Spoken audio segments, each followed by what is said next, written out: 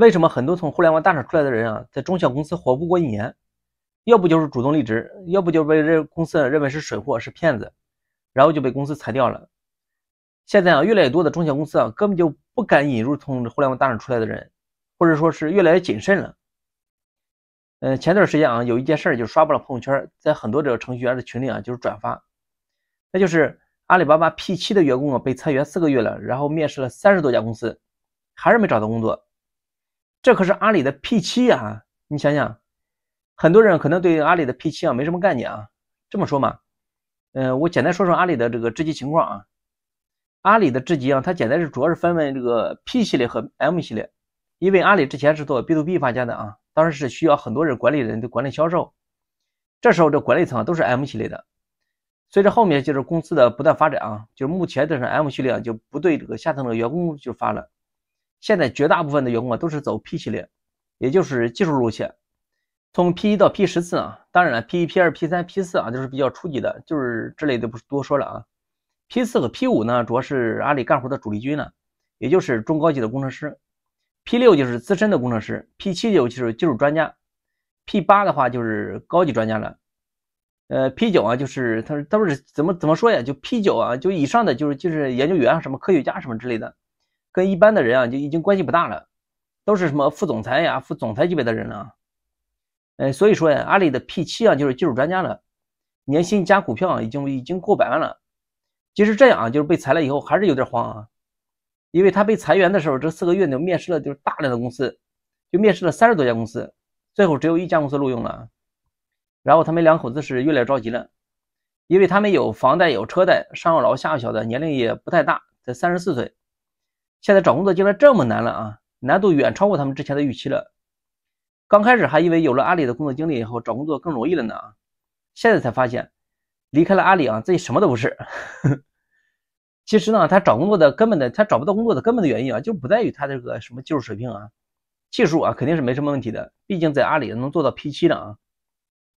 问题是他在找一份这工作能跟之前的工资啊差不多的工作，在阿里啊可以轻松的拿到年薪百万。你去其他公司，你再想想拿到这个数是不是有点难了？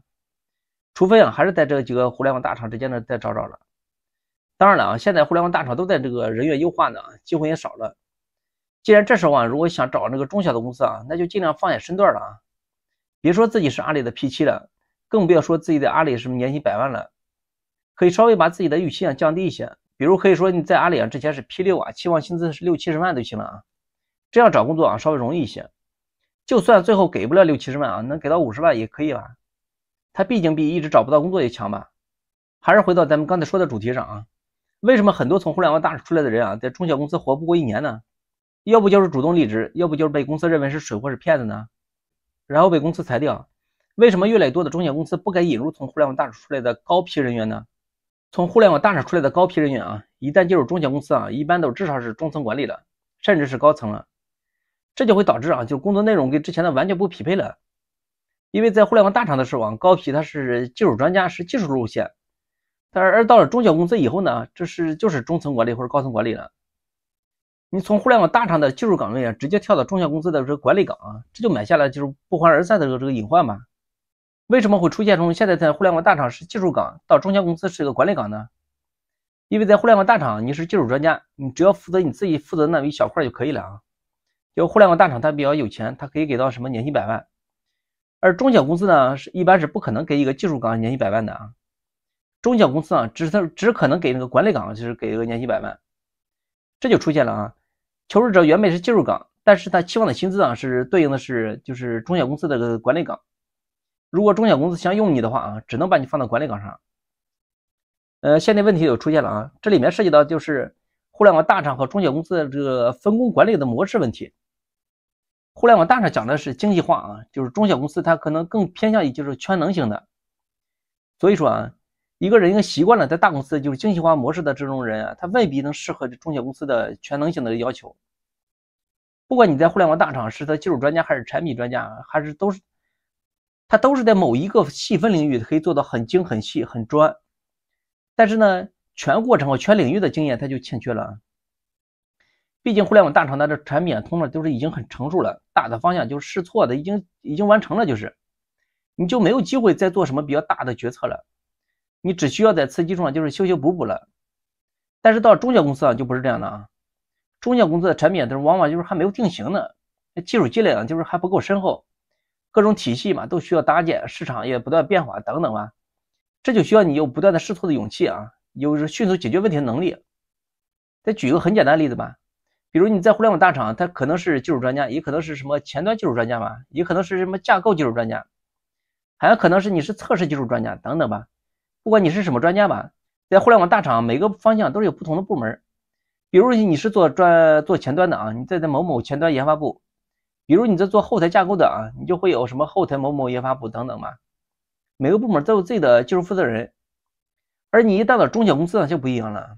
到公司的什么前端呀、后端呀、测试啊、产品经理啊等等吧，还有项目管理呀，甚至服务器的运维啊，那人员都是都由你管。